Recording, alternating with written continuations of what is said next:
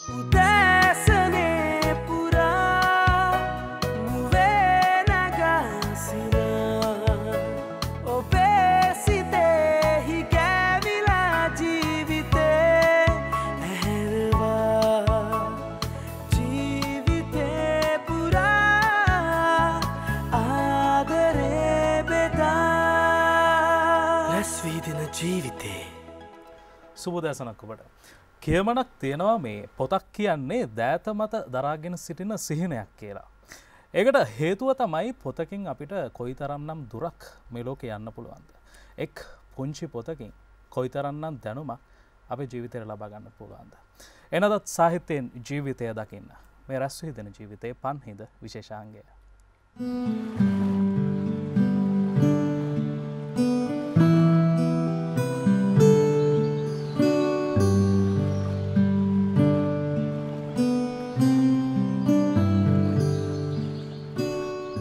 අද පන්හි දෙන්න අපිත් එක එකතු වෙන්නේ කවුද කියලා මං ඔබට මුලින්ම හඳුන්වල දෙන්නම්.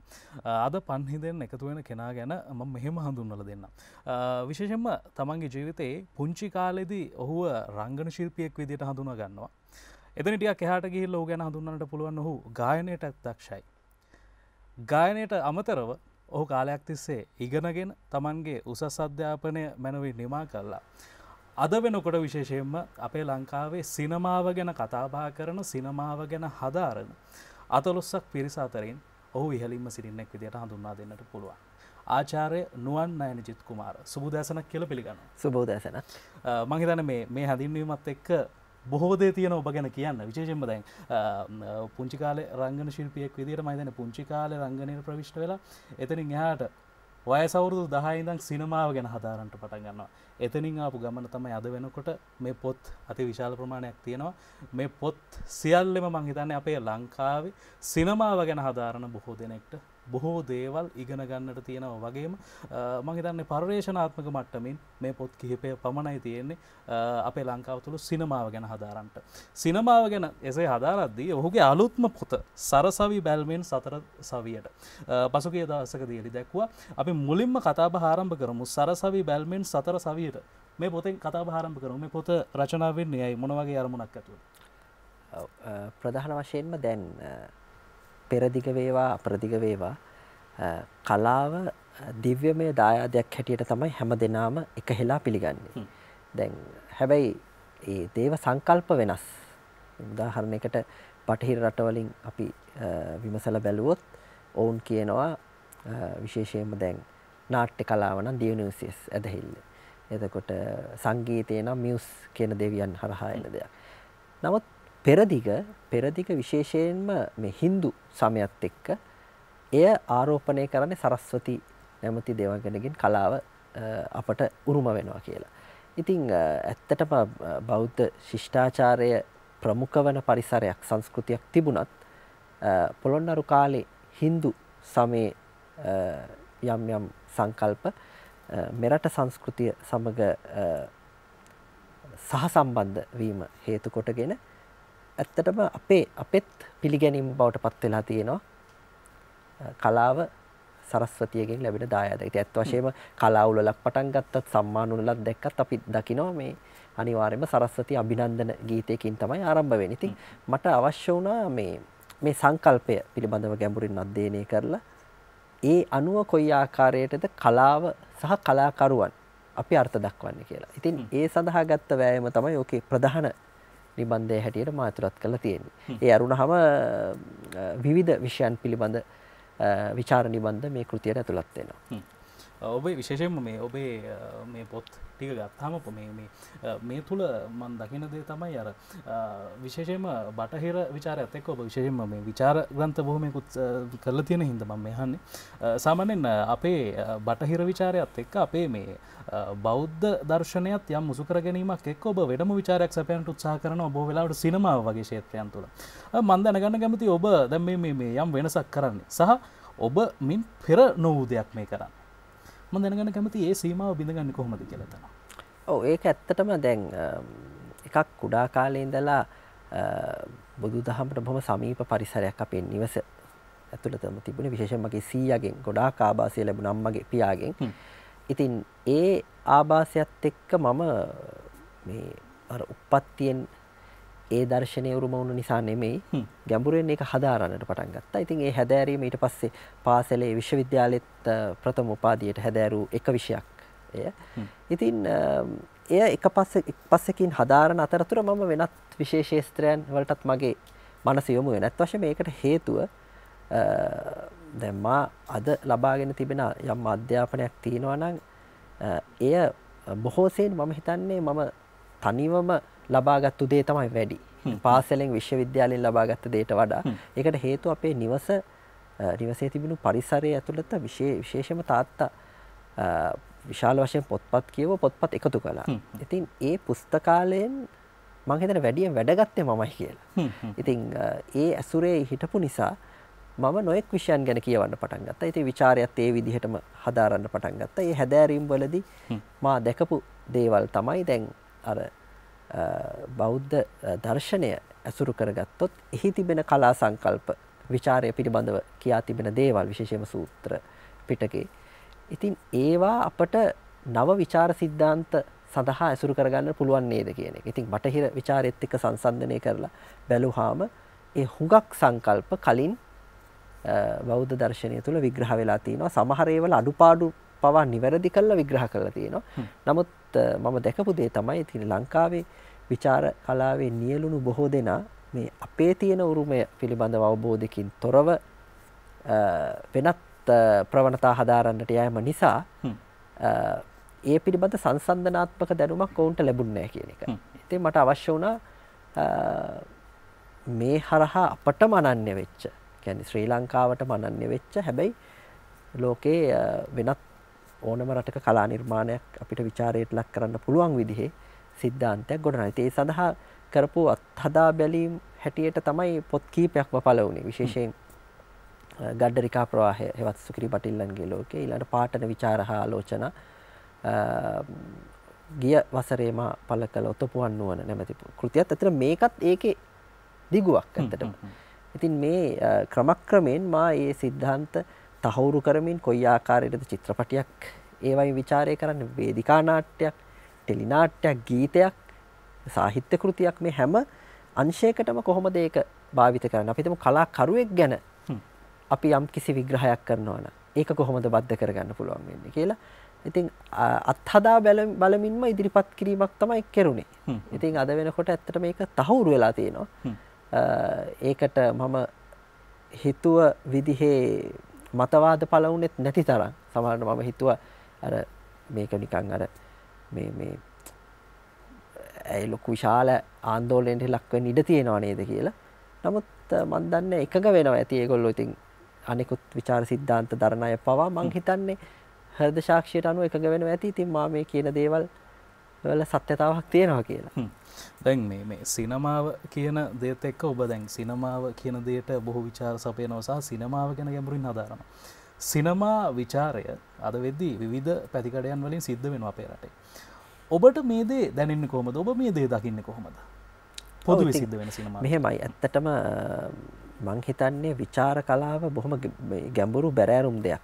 එකන්න දැන් නිර්මාණ එතනින් මං අදහස් කරන්න නිර්මාණකරුවාගේ කාර්ය අවතක්සේරු කරනවා නෙමේ නමුද අපිට කෙටි කතාවක් ලියන් හිතනොත් අපිට ලියනවා ලියලා එතකොට ඒක ගුණදොස් කවුහරි පෙන්න්නනවා කවියක් එහෙමනම් ඒත් එහෙම නව කතාවක් චිත්‍රපටයක් කළත් එහෙමයි.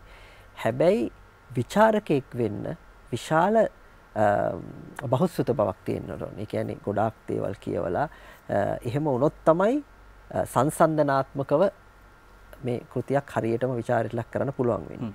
ඉතින් එතනදි දැන් තියෙන අපේ රට ගැන හිතද්දි තියෙන කනගාටුදායක තත්ත්වයක් තමයි දැන් ඕනම කෙනෙකුට සිනමා විචාර කරන්න පුළුවන් කියලා වගේ අදහසක් තියෙනවා. ඉතින් දැන් ඒක වැරදි. දැන් අර මම අපි කලින් කතා බහ කරනකොටත් කතා වුණේ දේ තමයි දැන් කාටවත් වෛද්‍ය විද්‍යාව ගැන කතා කරන්න බෑ. කතා කරොත් වෛද්‍යවරයෙක් ප්‍රශ්න කරයි ඔබ මොනවද වෛද්‍ය විද්‍යාව ගැන දන්නේ. අපි හිතමු ඉංජිනේරු ශිල්පය ගැන මේ වෙන වෙන ඕනම විෂයක් ගැන කතා කරොත් ඒ ඒ වෘත්තිකයන් අහන්න පුළුවන් ඒ ප්‍රශ්නේ. නමුත් කලාව ගැන ඕනම කෙනෙකුට කතා කරන්න පුළුවන් තත්ත්වයට වැටිලා. ඉතින් දැන් අදහස් දක්වන්න පුළුවන්. දැන් කෙනෙකුට තර්ක කරන්න පුළුවන්. ඇයි හැමෝටම කලාව රස විඳින්න පුළුවන් නේද? ඇත්ත. හැබැයි ඒ රස විඳීම නෙමෙයි ਵਿਚාරය. ඒ කියන්නේ දැන් මම යම් අදහසක් ඕනම කෙනෙකුට අපි චිත්‍රපටියක් බලලා හරි නව කතාවක් කියවලා හරි අදහසක් දක්වන්න අයිතියකුත් තියෙනවා කියන්නත් පුළුවන්. හැබැයි ඒක ਵਿਚාරය වෙන්නේ නැහැ. ਵਿਚාරය කියන්නේ ඊට වඩා බොහොම පුළුල් ඒ ඒ විෂය විතරක් නෙමේ වෙනත් විශේෂේත්‍රත් හදාලා හදාරලා ඊළඟට දැන් අපි හිතමු චිත්‍රපට විචාරණ කරන්නේ අසීමිතව චිත්‍රපට බලන්න ඕනේ. එහෙම නොබලපු ගමන් අපි හිතමු මොකක් හරි නිර්මාණයක් දැකපු ගමන් කෙනෙකුට මේක මාර වැඩක් විදිහට පේනවා. ඒ පේන්නේ වෙනත් ඒවා බලලා නැති නිසා. හැබැයි හුඟක් නිර්මාණ බැලුවොත් ඔහුට සිහිපත් වෙනවා මේ හා සමාන චිත්‍රපටි ගණනාවක් තියෙනවා නේද? ඒ කියන්නේ සමහරලාට අනුකරණය කරන්නත් පුළුවන් ඔය අතර. සමහර චිත්‍ර සමහරව ආభాසය ලබන්නත් පුළුවන්. දැන් සමහර නිර්මාණ තියෙනවා එක සමානයි. හැබැයි කලින් ඒ නිර්මාණකරුවා දැකලා නැහැ ඒ චිත්‍රපටිය. හැබැයි එහෙම වෙන්න පුළුවන්. මොකද මිනිස් සිතේ නෙමේ හැමදේම හටගන්නේ. දැන් සංගීත නිර්මාණයක් වුණත් එක ළඟ ස්වර ගමන් කරන්න පුළුවන්. හැබැයි ඒ හැම දෙයක්ම අර තුලනය කරන්න පුළුවන් වෙන්නේ වඩාත් නරඹන තරමට වඩාත් කියවන තරමට ඒකේ තියෙන අර දැනුම් වපසරිය ගොඩක් පුළුල්.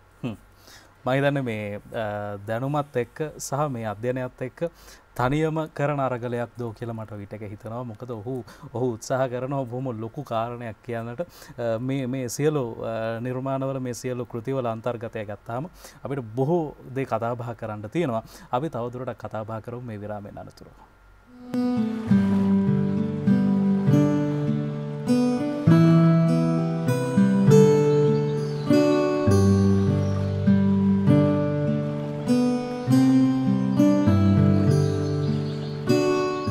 නැවතත් පණහිතත් සමඟ අපි කතාබා කරමින් ඉන්න ආචාරය නුවන් අයනජිත් කුමාර් සමඟ ඔහුගේ නිර්මාණ ගැන හුගේ කෘති පිළිබඳව අපි කතාබා කරමින් ඉන්න.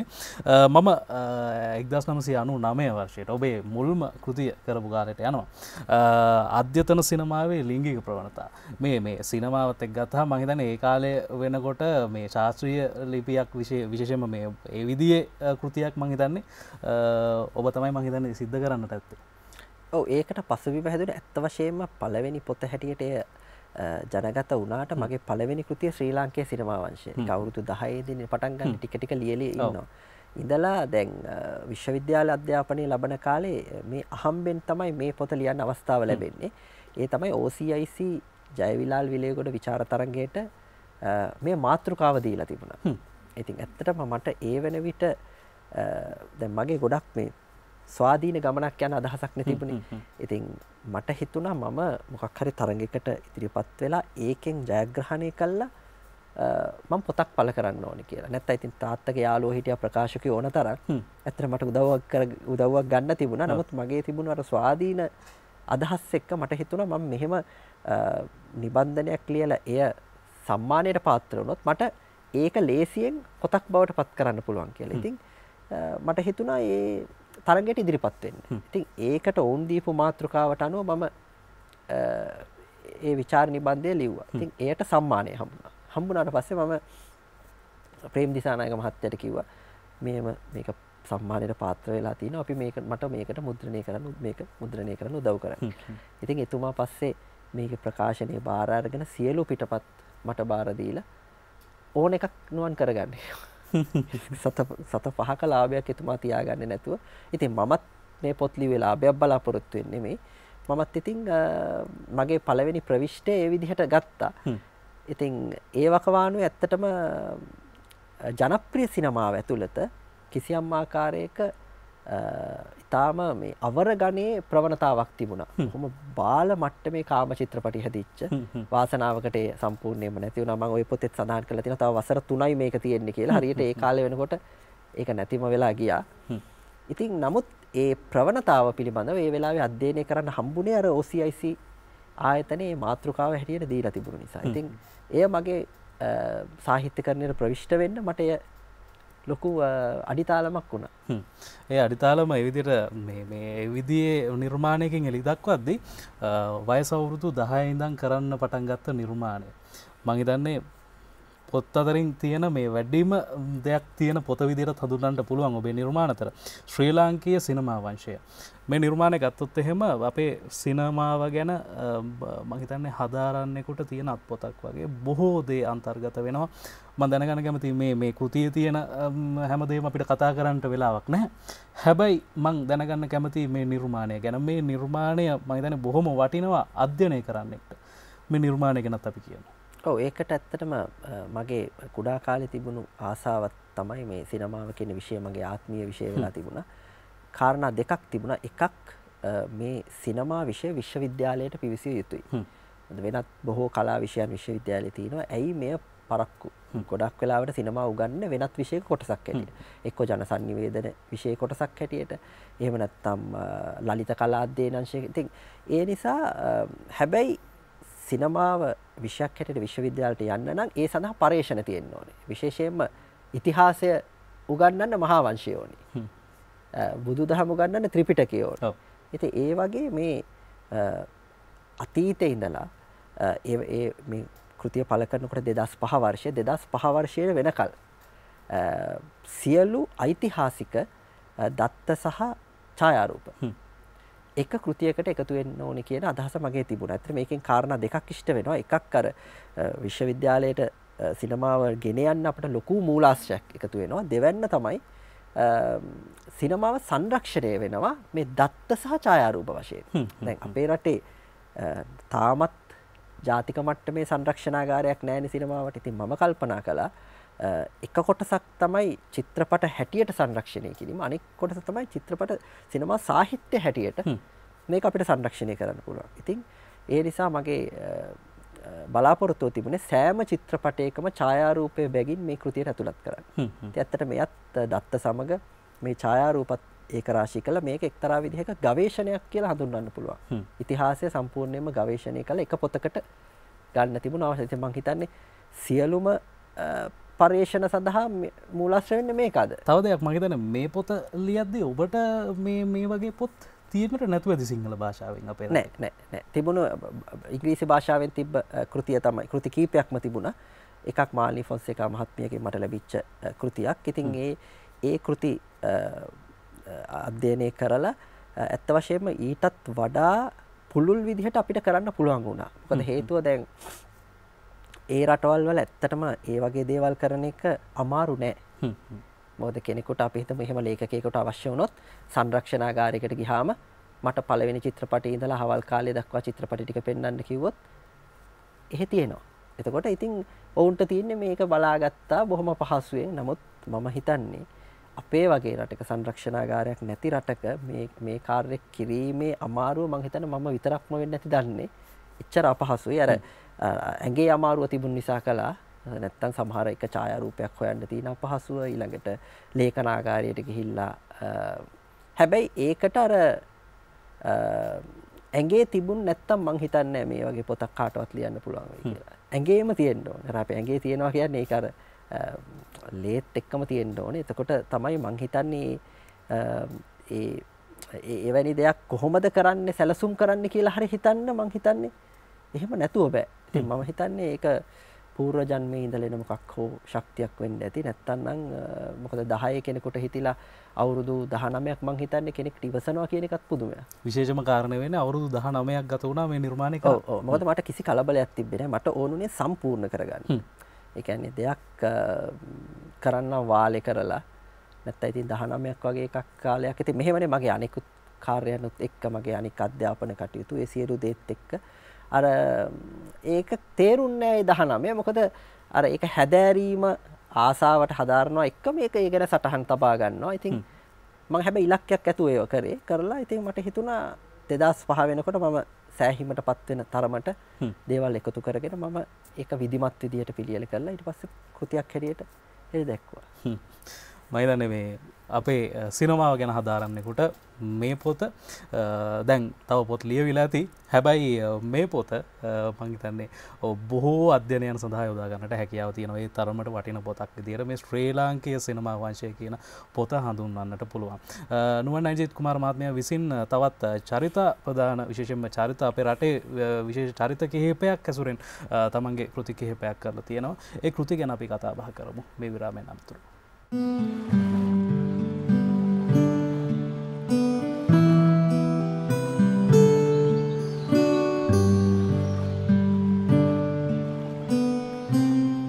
ඔබ නැවතත් පන්හිදත් සමඟ අපි කතාබා කරමින් ඉන්න ආචාරය නුවන් අනිජිත් කුමාර සමඟ ඔහුගේ පොත් අතර මං කිව්ව මේ චරිතාපදාන කෙහෙපයක් තියෙනවා කියලා. චරිතාපදානවලට ටියක් එහාට ගිහිල්ලා අදුන්නට පුළුවන්. එය චරිතාපදානයත් එක්කම විචාරයත් සහිතව ලියපු පොත් කිහිපයක් විදියට. විශේෂයෙන් අපේ රටේ සිනමාව තුළේ වගේම සංගීත ක්ෂේත්‍රය තුළ ප්‍රවීණතම සහ අපේ මේ සිනමාව සංගීතය ජාත්‍යන්තරය තුළ නාමය රඳවනට සමත් වුණු චරිත කිහිපයක් ගැන ඔහු ඔහුගේ මේ නිර්මාණ කළ තියෙනවා. අනෙකුත් කෘති හා සාපේක්ෂව ගත්තහම මේ කෘති කිහිපයත් මංහිතන්නේ ලංකාවේ අපේ සිංහල භාෂාවෙන් රචිත කෘති අතර ඔහුගේම නිර්මාණ පමණක් විදියට හඳුන්වන්නට පුළුවන්. එම දැනගන්න කැමති මේ සමස්තයක් විදියට මේ මේ නිර්මාණ කිහිපයත් ගැන. ඔව ඇත්තටම ඒ නිර්මාණ පෙළ අපදාන පමණක් නෙවේ අපදාන සමඟ විචාරාත්මක අධ්‍යයනත් එකතු වෙච්ච කෘති. ඉති ඇත්තටම ඒ ග්‍රන්ථ පෙළත් මම රචනා කළේ අර කලින් කීවක් වගේ සිනමාව විශ්වවිද්‍යාලයට ගෙන යන්නට නම් ඒ සඳහා අවශ්‍ය මූලාශ්‍ර සම්පාදනය කිරීමේ පරමාර්ථයෙන් ඉතින් එතනදී මම අංශ එක් එක් අංශවල සිටින අග්‍රගණ්‍ය කලාකරුවන් තෝරාගත්තා. ඉතින් ඒ අනුව තමයි ගාමිණී ෆොන්සේකා ආචාර්ය D B. Nihalsinghe Titus Thotawatte Pandit Amaradeva කියන හතර දෙනා රූපණය, කැමරාකරණය, සංස්කරණය, ගායනය, සංගීතය කියන අංශවලින් සිනමාවේ සිටි අග්‍රගණ්‍ය කලාකරුවන්. ඉතින් ඒ එක්කම අධ්‍යක්ෂණය පැත්තෙත් දෙයක් මට කරන්නට ඕන කම තිබුණා ඉතින් ඒ මොහොතේ මට මුලින්ම හිතුට නැගුණු දේ තමයි ලංකාවේ සිටින අග්‍රගණ්‍ය සිනමාවේදී ආචාර්ය ලෙස්ටර් ජේම්ස් පීරිස් එතුමා පිළිබඳ අපදාන කෘති විවිධ ආකාරයෙන් ලියවිලා තියෙනවා. නමුත් එතුමාගේ විචාර භූමිකාව කවුරුත් දන්නේ නැහැ. ඉතින් ඒකට හේතුව උනේ ඒ සියලු ලිපි ලේඛන ඉංග්‍රීසියෙන් ලියුනේ ඒවා ඊටාම දුර්ලභයි හොයාගන්නත්. ඉතින් මා ඒවා ඒක රාශී කළ සිංහලට පරිවර්තනය කරා. පරිවර්තනය කළා ඒ අග්‍රගණ්‍ය අධ්‍යක්ෂකවරයාගේ චින්තනය සහ විචාර භූමිකාව ඒ කෘතියෙන් මං එළිදක් එක්දරි දැක්වා ලෙස්ට විරචිත ලේඛන සංහිතා කියලා. ඉතින් අධ්‍යක්ෂණයට තමයි ඒ කාර්ය. ඊට පස්සේ රූපණය පැත්තෙන් ගාමිණී මහත්තයාගේ කැමරාකරණය නිහාල්සිංහ මහත්තයාගේ ටයිටස් තොටවත්තයන්ගෙන් සංස්කරණය පැත්ත සහ සංගීතය අමරදේවයන්. ඉතින් මේ කෘති පහෙන් එක විදිහකට අනියමෙන් අර අංශ ඒ සියලු අංශ විවරණය වෙනවා.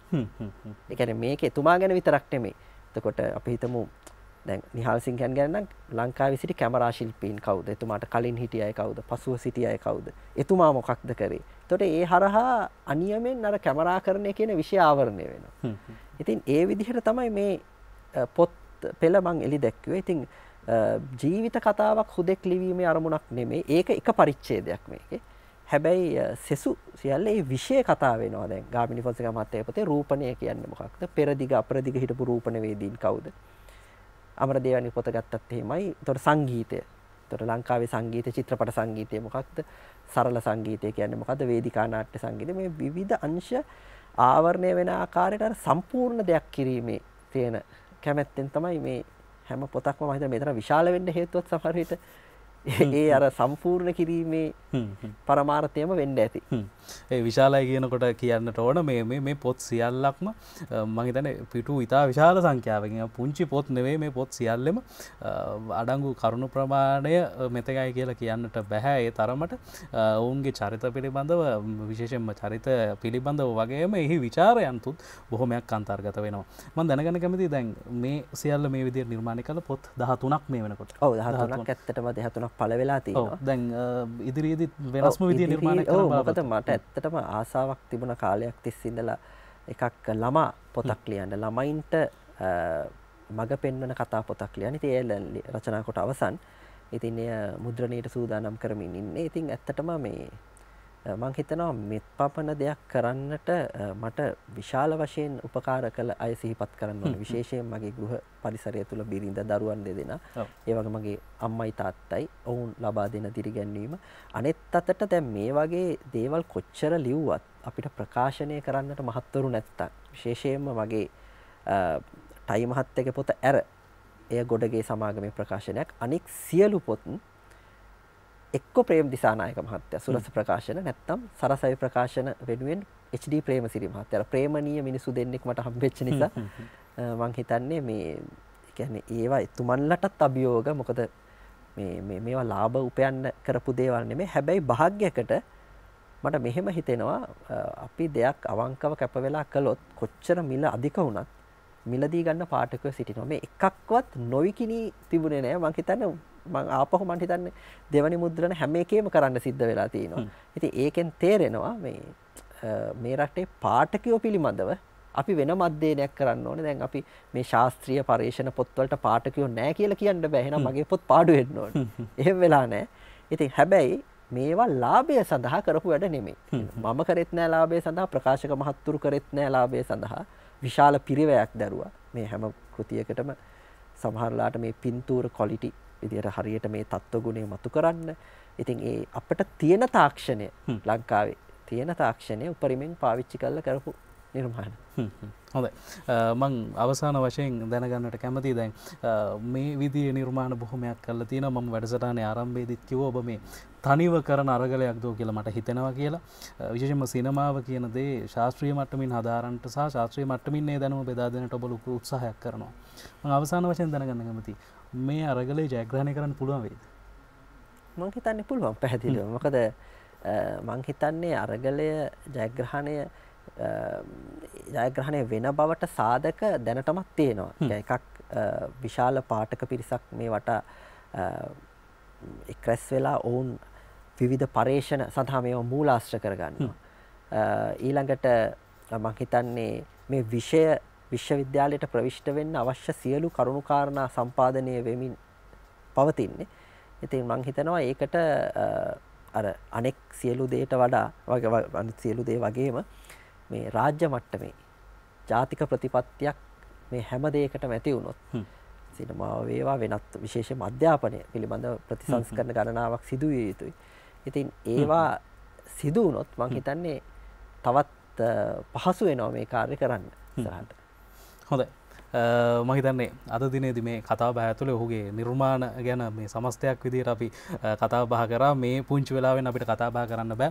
අ, බොහෝ අ, නිර්මාණ සංඛ්‍යාවත් තියෙනවා. මේ නිර්මාණ දහතුනක් වුණාට මේ පොත් දහතුනක් වුණාට මේ පොත් දහතුනේ අන්තර්ගත කාරණ ඉතාමත්ම විශාල ප්‍රමාණයක් තියෙනවා. අද දිනේද අපිත් සම කතා බාට එකතුනේ ආචාරය නුවන් නයනජිත් කුමාර.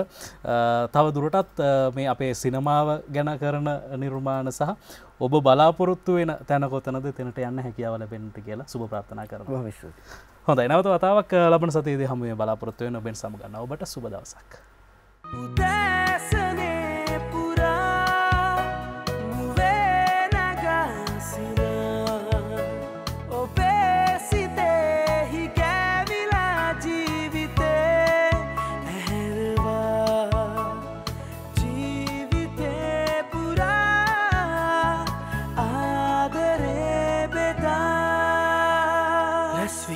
ജീവിതേ